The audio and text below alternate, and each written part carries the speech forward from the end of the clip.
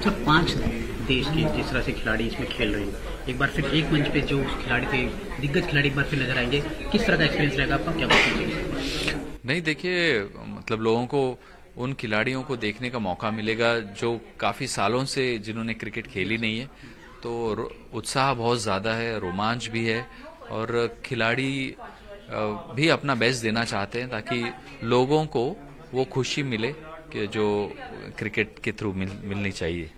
Sir road safety की बात करें आपने देखा होगा अक्सर कहीं ना कहीं कुछ ना कुछ लोग जागरूक करते हैं सरकार भी जागरूक लेकिन लोग नियम का पालन नहीं करते। तो कहीं ना कहीं आपको लगता है मैच के नाथ जो फैंस होते हैं वो इसको देख के लोगों को देख के इसको फॉलो करेंगे और जो- जो रोड सेफ्टी है उसका उपयोग होगा। जी हाँ क्योंकि क्रिकेट ऐसा है जिसकी रीच बहुत ज़्यादा गहरी है और ज़्यादातर लोग क्रिकेटर्स को फॉलो करते हैं और उनसे बहुत ज़्यादा प्यार है, इसलिए फॉलो करते हैं। तो मैं समझता हूँ कि क्रिकेटर्स जो मैसेजेस देंगे, जैसे सीट बेल्ट पहनिए हेलमेट पहनिए जब आप बाइक चला रहे हैं, आप जो भी है इंस्ट्रक्शन जो रोड्स पे होती है, उनको फॉलो कीजिए, स्पीड लिमिट्स को फॉलो कीजिए तो इन सारी चीज़ों की वजह से एक अवेयरनेस आएगा और उस अवेयरनेस की वजह से हमें पूरा यकीन है कि जिंदगियाँ ज़रूर बचेगी एक्सीडेंट से।